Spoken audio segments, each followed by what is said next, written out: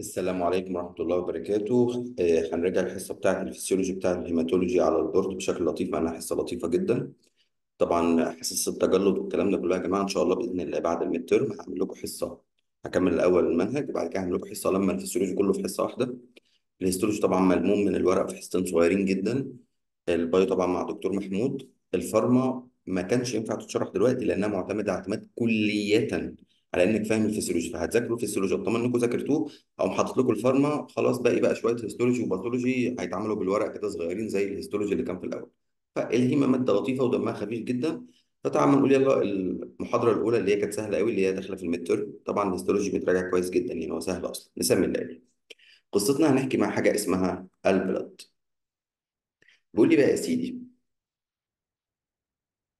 بيقول لي إن الدم بيتكون 45% من حجم الدم cells و55% من حجم الدم سائل اسمه البلازما في العمل إن شاء الله هتكون تجربة اسمها hematocrit value. نسبة ال cells أو كرات الدم الحمراء بالنسبة لل whole blood أنت عارف الرقم من دلوقتي مبدئيا هو 45 على ما نقول تفاصيل شوية في العمل. 45% من حجم الدم cells و55% من حجم الدم بلازما طبعا ال cells RBCs أو اسم الدلع erythrocyte WBCs white blood cells يعني أو اسم الدلع leukocyte. الصفائح الدموية اللي خدنا لها chapter التجلط كاملا اسمها platelets أو اللي بتعمل تجلط thrombocyte من عندنا قلنا لو أي خلية كتير بنحط اللفظ osis لو الخلية قليله بنسميها penia. عشان كده نقص ال platelet اسمه thrombocytopenia لسه مراجعينها في ال pharma لو تفتكروا في ال hypersensitivity كان في دواء اسمه الهيبارين. الهيبارين بيعمل thrombocytopenia يعني نقص في ال thrombocytes أما البلازما وجعلنا من الماء كل شيء حي أكتر من 90% من تركيبها مية 8% من تركيبها حاجة اسمها ال plasma protein و2% بقى شوية ايونات على nutrient على waste product على القصص دي كلها. واضح كده الكلام يا شبابنا؟ طيب. قصتنا بقى هنحكي في عنوان اسمه physical properties of the blood الخواص الفيزيائية للدم اللي بتظهر لنا في تحليل الدم وهنفهم على كل حاجة محتاجينها إيه. البداية مع ال color طبعا bright red في الشريان dark red في الوريد. أحمر قاني وأحمر قاتم فاكر أنت؟ bright red و dark red طبعا الدم في الوريد بيبقى أحمر غامق بسبب وجود ثاني أكسيد الكربون اللي مع وجود فوقه جلد و fascia وعضلات ومش عارف إيه بيبان لونه أزرق لكن هو الدم مش أزرق ولا حاجة. يبقى ال color bright red في الشريان dark red في الوريد البي اتش الملائمة للعمليات الحيوية. 7.4 من 10 في الشريان 7.3 من 10 في الوريد. طبعا slightly alkaline اللي فوق السبعة alkaline هو alkaline بحاجة بسيطة. وطبعا الشريان alkaline أكتر من الوريد. الوريد ميال لل acidity هو alkaline بس في اتجاه ال acidity شوية. يعني 7.3 من 10 أقرب للسبعة يعني. ليه من عندنا؟ إحنا بعيدا عن المنهج عشان جواه ثاني أكسيد الكربون وثاني أكسيد الكربون ممثل الحمضية. دكتور ثاني أكسيد الكربون إيه اللي ممثل حمضية ما هو ثاني أكسيد الكربون بيرتبط بالمية يعمل حمض البيكربونيك. والمية متعادلة فمن حقي أقول لك إن اللي عامل حمضية ال CO2 خلاص دي معلومات لنفسك أنت. احفظ معايا بقى اللي يهمك. color bright red في الشريان dark red في الوريد. البي اتش 7.4 من 10 في الشريان 7.3 من 10 في الوريد ف slightly alkaline specific gravity طبعا الامتحان بيبقى كله أرقام يا جماعة. specific gravity يعني كثافة المادة بالنسبة للمية. وهي حاجة بتعبر عن اللزوجة لأن الميه هي أقل لزوجة خالص ما فيهاش لزوجة أصلا. فعشان كده مش هيبقى لها تقييم. يعني هيقول لك كرات الدم ال cells بتبقى 1090 طبعا بالذات ال RBCs لأن ال WBCs وال platelets فكة. عدد قليل قوي يعني أنت بتتكلم في ال RBCs 5 مليون خلية في المليمتر المكعب أقل شوية في الست. WBCs من 4000 ل 11000 مش عليك الأرقام دلوقتي. ال platelets من 150 ل 400000 فهم فكة. فمن حق أقول cells ومن حق أقول RBCs وطبعا إن كل شيء خلقناه بقدر. ال RBCs هي الأكتر عشان وظيفتها respiration وظيفتها تنفس. فشغاله 24 ساعة مش زي الاثنين دول. فال RBCs أو ال cells ال specific gravity 1090 البلازما اللي معظمها مية 1030 يبقى ال whole blood بما إنه خليط ما بين البلازما وال cells يبقى 1060 دي كلها أرقام بتيجي في الامتحان. طبعا المية اللي بنقيس بيها 1000 يبقى ال cells أو ال RBCs 1090 هي الأكثر لزوجه طبعا يعني. البلازما معظم تركيبها مية أساسا في 1030 ال whole blood 1060 يبقى ال color bright red في الشريان dark red في الوريد البي اتش 7.4 من 10 في الشريان 7.3 من 10 في الوريد slightly alkaline specific gravity زي ما شفنا دلوقتي 1090 RBCs 1030 بلازما يبقى ال whole blood اللي هو خليط من الاثنين 1060 هنكمل في نفس الصفحة معلش عشان أنا محتاج الكلام ده. طيب أنت قلت لي بتعمل ال specific gravity ليه؟ عشان ال viscosity لزوجة الدم أكتر من الميه خمس مرات. مين اللي عامل لزوجة أكتر ال cells ولا البلازما بذمتك؟ يا دكتور ده البلازما معظمها مية يبقى ال cells وتحديدا ال RBCs عشان كده لو ال RBCs اتجمعت مبروك هتكسب معانا جلطة. لزوجة عالية جدا. طب بص المفاجأة لزوجة البلازما لوحدها أكتر من المية مرتين يبقى إيه السبب؟ اللي مش مية. يعني إيه يا دكتور؟ مش أنت بتقول 90% من تركيب البلازما مية؟ ومع ذلك البلازما لزجة أكتر من مية مرتين يبقى أكيد اللي عامل لزوجة اللي مش مية دي مين؟ ال plasma protein وتحديدا تحديدا أضخم واحد فيهم اللي هو ال fibrinogen خلاص؟ اتخن واحد فيهم اللي هو ال fibrinogen فلما يقول لك في الامتحان في ال MCQ سبب لزوجة الدم RB سبب لزوجة البلازما ال plasma protein وتحديدا ال fibrinogen طب هو ربنا خالق لزوجة ليه أصلا؟ عشان تحافظ على ال arterial blood pressure زي ما اتفقنا لازم يبقى في ضغط عشان الدم يتك على الجدران يعرف يوصل للأنسجة. متفقين كده؟ لازم طول الوقت يفضل الدم فيه ضغط. فلو الدم كان عامل زي المية كان وقت انقباض القلب هينطلق بسرعة قوي ويمشي بسرعة قوي فالضغط يعلى جامد وفجأة يوطى جامد وإحنا مش عايزين كده. إحنا عايزينه يفضل ماشي بما يرضي الله فلازم يبقى لازق شوية. عشان كده وجود اللزوجة بيحافظ على ضغط الدم. خلاص كده؟ طيب. آخر حاجة ودي طبعا إيه؟ هنعملها لوحدها بقى خالص. ال osmotic pressure وطبعا أنت عم أفهمك الموضوع إحنا أصلا خدناه في أكتر من حاجة pathology و physiology ترم أول وإيه والدنيا حلوة يعني في ال pharma حتى جبنا سيرته فالدنيا هتبقى سهلة. بص يا سيدي ده نسيج tissue وده الدم. عشان مادة تنتقل من جوه لبرة أو من بره لجوه لازم يكون في فارق في الضغط. مش فارق معايا قيمه الضغط فارق معايا فرق الضغط. يقول لك في هنا crystals أملاح يعني وسكر اللي هي بلورات يعني عاملة ضغط رهيب 4000 ملم زئبق 4000 ده رقم رهيب قوي يا دكتور بس ما هو في أملاح و crystals في ال tissues طبعا يعني. فهنا برضو هتلاقيها 4000 لكن في حاجة اسمها colloids. colloids يعني حاجات طرية اللي هي ال plasma protein يعني. عاملة ضغط في الدم 30 ملم زئبق لكن هل في plasma protein في ال tissues ده اسمها plasma protein. يبقى هنا الضغط بتاعها ال colloid صفر. وبالتالي وبالتالي إحنا كنا قايلين إن في ثلاث حاجات بتشد المية لو فاكرين. الأملاح والسكر والبروتين. الثلاثه هم. الأملاح والسكر عاملين ضغط اسمه crystalloid قيمته كبيرة جدا 4000 ملم زئبق لكن مش مفيد في الاكستشينج ما بين الدم وال tissues. مش مفيد في التبادل ما بينهم. ليه؟ لأن زي ما موجود هنا زي ما موجود هنا. يقول لك في equal distribution يعني التوزيع متعادل ما بين ال tissues والدم. لكن في plasma protein عاملة ضغط اسمه colloid osmotic pressure قيمته 30 ومع ذلك الراجل مفيد في الاكستشينج ليه يا دكتور مفيد في الاكستشينج لأن مفيش plasma protein بره الدم مفيش في ال tissues ففي فرق ضغط. زي ما كنا بنشبهها في الحصة أقول لك القاعة دي فيها 1000 طالب بس ما اللي جنبنا فيها 1000 يبقى مفيش هيحصل اكستشينج لكن دي فيها 30 طالب بس لكن اللي جنبنا ما فيهاش. هنا يحصل اكستشينج فلما يقول لك ال osmotic pressure تقول له نوعين حاجتين بيقدروا يشدوا المية. crystalloid و colloid. crystalloid 4000 بس مش مفيد في الاكستشينج عشان هو متوزع جوه زي بره في الدم وفي ال tissues لكن ال colloid صحيح 30 بس لكن مفيد في ال water exchange طيب إحنا فاكرين كمان إن المفروض ده اللي هو بتاع ال plasma protein يعني مسؤول عن قوة الجذب كمان. هل كل ال 30 ملم زئبق المتواجدين جوه الدم دول بيشاركوا في قوة الجذب ولا هم في الاكستشينج بس؟ قال لي 22 منهم بيساهموا في قوة الجذب. وبالتالي في حاجة اسمها effective osmotic pressure. يعني اللي موجودين وافكتيف أو بيسموهم absorptive force قوة الجذب كام؟ 22 يعني بالبلدي هديها لك مثال يعني في كام طالب هنا في القاعة؟ ولد 30 لما قمت أتخانق كام واحد في 30 قام معايا 22 فهقول على ال 22 دول بتوع الخناق. ال 22 دول ال effective اللي في ال 30 فال 30 دول موجودين جوه الدم.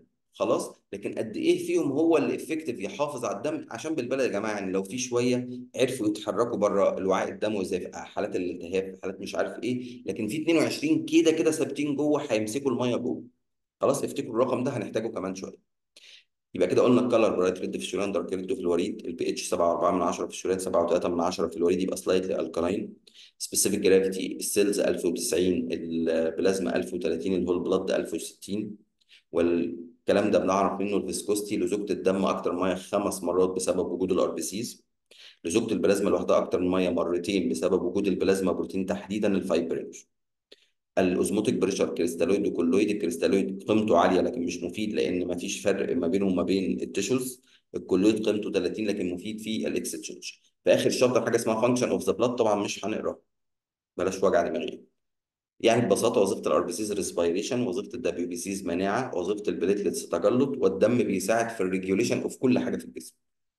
مش هيسألك في الكلام ده لأنك كده كده هتاخد على كل حاجة من الحاجات دي إيه؟ chapter. تمام كده؟ نخش في ال chapter الثاني والأخير اللي داخل فيه ال midterm chapter ال plasma protein وحتى لاغيين منه حاجات كتير قوي من سنتين ثلاثة كده لغوها فيعني الدنيا إن شاء الله سهلة قوي يعني جماعة. أنا طبعا في أحد زمايلكم أنا فاكر طبعا هو مين هو عارف كويس طلب مني الحصة دي board أنا بعتذر له إن أنا اتأخرت بس كنت بنجز ال pharma وال pathology الأول لأن ال hematology أمره هين جمع معايا بقى يا سيدي. plasma protein. أساميهم يا سيدي. albumin globulin fibrinogen و prothrombin. albumin globulin fibrinogen و prothrombin طبعا عددهم 100 يا جماعة لكن دول الأربعة الأكبر والأكثر تواجدا والأكثر كمية. يعني قيمة ال plasma protein في الدم من 7 ل 8 جرام في كل 100 مللي دم اللي هي جرام في المية. دول لوحدهم واخدين 7 وشوية أصلا يعني. albumin globulin fibrinogen prothrombin احفظ معايا بعد إذنك. الالبيومين من 4 ل 4.5 جرام في المية. أصل الراجل ده هو اللي مسؤول عن ال osmotic pressure فلازم يبقى الأكثر تواجدا عشان يمسك الميه الجلوبيولين من 2.5 ل 2.7 من 10 برضه جرام في المية. ال fibrinogen من 200 ل 400 مللي جرام في المية. ركز في الكلام ده. والبروترومبين كأنه مش موجود أصلا لأنه 10 مللي جرام في المية. يبقى الألبيومين من 4 ل 4.5 جرام في المية. جلوبيولين من 2.5 ل 2.7 من 10 برضه جرام في المية. ال fibrinogen من 200 ل 400 مللي جرام في المية والبروترومبين 10 مللي جرام في المية يبقى مجموعهم من 7 ل 8 جرام في المية. الجلوبيولين بيتقسم alpha و beta و gamma. ال beta ده زي عامل التجلط حلو كده؟ ده اتشرح في جزء التجلط الجاما دي ال antibodies فمن دلوقتي أهو ما هي ال antibodies هي gamma globulin وهي ال plasma ال protein الوحيد اللي بتصنع في جهاز المناعة لأنه تبع جهاز المناعة. يبقى alpha و beta و gamma. ال beta عوامل التجلط الجاما هو ال antibodies يبقى antibodies ار ده سؤال امتحان. ار gamma globulin plasma protein. حلو؟ طيب. ال formation بيتصنعوا فين كل ال plasma protein بتتصنع في ال liver ما عدا بتاع المناعة بتصنع في جهاز المناعة. ال gamma globulin اللي لسه قايلين أهو بتصنع في plasma cells of RES الكلام ده إحنا خدناه بالتفصيل. آه والله. فاكر ال plasma cell اللي كانت بتخزن وتفرز ال antibodies طبعا RES اللي هو الجهاز الليمفاوي خلاص؟ RES ده اللي هو الجهاز الليمفاوي في الفسيولوجي بيتسمى reticuloendothelial system أو RES يبقى كل ال plasma protein بتتصنع في ال liver ما عدا بتاع المناعة بتصنع في جهاز المناعة. كل ال plasma protein بتتصنع في ال liver ما عدا بتاع المناعة بتصنع في جهاز المناعة. من بدري أهو بقى الدنيا بدأت توسع. الالبيومين ده يا جماعة من بدري أهو هو بتاع ال osmotic pressure ال gamma globulin بتاعة المناعة والبيتا طبعا عوامل التجلط. ال fibrinogen ال prothrombin بتوع التجلط اللي فاكره وسمع حصص التجلط وال fibrinogen لوحده بتاع اللزوجة. فاكر انت الكلام ده؟ عشان احتاجه كمان شوية. خلاص؟ طيب. اي جي ريشيو سؤال امتحان جميل قوي. نسبة الألبيومين على الجلوبيولين لو قسمت الأربعة لأربعة ونص على اتنين ونص اتنين وسبعة من عشرة هتطلع ما بين واحد واتنين من عشرة لواحد وسبعة من عشرة. ماشي؟ طب أنا استفدت إيه؟ لا ده أنت استفدت كتير. إمتى الإيجي ريشيو تقل وإمتى تزيد؟ خلينا في تقل الأول. تقل لو البسط قل أو المقام زاد. المقام زاد ده بتاع المناعة أجسام مناعية يبقى بيزيد إمتى؟ في ال severe infection في العدوى الشديدة. حلو كده الكلام؟ طيب إمتى البسط يقل؟ لو المصنع ما صنعش. المخرج خرج كتير أو ضربته في الطريق. المصنع ما صنعش ال liver disease المخرج خرج كتير. renal disease الكلية بدأت تنزله في ال urine لأن في ال normal حجمه كبير ما بينزلش في ال urine ضربته في الطريق malabsorption في مشكلة في ال absorption malnutrition في مشكلة. في الأكل أو burns لأن الحروق بتدمر ال plasma protein. يبقى لو جالك في MCQ قال لك A/G ratio can detect تقدر تشخص تقدر تشخص لو liver disease أو renal disease أو malnutrition أو malabsorption أو burns أو severe infection طب تقدر تقول هو مين فيهم؟ لا ما هياش specific ما هياش specific جاب مرة سؤال في الامتحان قمر بقى عكس. طبعا مش مكتوبة في الكتاب لكن إحنا كاتبينها في الورق وطبعا مش محتاج اكتبها في الورق يعني. إمتى الإيجيريشيو تزيد؟ لو الألبيومين زاد أو المقام قل الألبيومين ما بيزيدش ما فيش مرض اسمه زيادة الألبيومين يبقى نقص فيه ال gamma globulin بيجيبها في ال MCQ بشكل من الاثنين يقول لك hypogammaglobulinemia يعني نقص في ال gamma globulin يا قالها إيدز. وطبعا بالاستبعاد كان ينفع تحلوها إحنا معلمينكم تحلوا MCQ إزاي يعني؟ لكن حتى لو مش بالاستبعاد فهي الإيدز اللي هو مرض نقص المناعة. واضح كده الكلام يا شبابنا؟ آخر حاجة function of plasma protein هو الموضوع سهل كده؟ آه والله العظيم والله العظيم سهل. طبعا وانت بتفصل ال plasma protein اكتشفوا اكتشاف كده عشان هيفيدنا في الوظائف. اكتشفوا إن ال plasma protein amphoteric أيوه يعني إيه يا دكتور amphoteric يعني مترددة بتتعامل مع ال acid ك alkaline ومع ال alkaline ك acid. بتعمل الحاجة وناقضها. وأنتوا فاكرين بقى خلاص متعلمين فيسيولوجي اللي بيعمل حاجة وناقضها يبقى اوتوماتيك ينفع يعمل regulation في تسع وظائف لل plasma protein أنت حافظ خمسة. يا أخي آه والله العظيم حافظ خمسه بترتيبي أو ترتيب الورق مش بترتيب الكتاب رقم واحد ال albumin colloid osmotic pressure. ال globulin antibody formation اللي هي المناعة يعني. حلو كده؟ ال fibrinogen لوحده viscosity وأنت عارف إن ال viscosity بتحافظ على ضغط الدم. ال fibrinogen وال prothrombin coagulation تجلط دول factor واحد واثنين أساسي. ولسه قايل إن ال plasma protein amphoteric متعادلة مترددة بتتعامل مع الأسيد كالكالين والكالين كاسيد يبقى يعرفوا يعملوا buffering action إيه buffering action دي يا دكتور؟ يعني acid base balance acid base regulation عشان بيعرفوا يعملوا حاجة ونقضها. بسم الله الرحمن الرحيم بسم الله الرحمن الرحيم. ال albumin colloid osmotic pressure ال globulin antibody formation أو مناعة ال fibrinogen لزوجة fibrinogen prothrombin تجلط وكلهم buffering action بيعرفوا يتعاملوا كإن إيه proteinate أو proteinic acid ك acid وك alkaline خدت بالك؟ فيقدروا يعملوا acid base بس دي مش وظيفتهم زي ما كنت بقول لك الحصة بتاع السبورة مش وظيفتهم هم بيعرفوا يساهموا وظيفتين هجايز carrier function و nutritional function carrier function و nutritional function carrier بيشيلوا كل حاجة إلا الأكسجين. الأكسجين ما بيتشالش غير على ال RBCs ما بيتشالش في البلازما.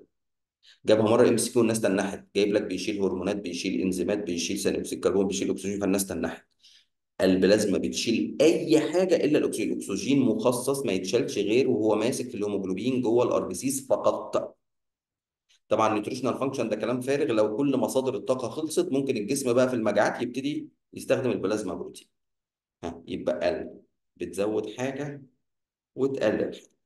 بتزود ال ESR suspension of erythrocyte أو erythrocyte sedimentation rate سرعة الترسيب.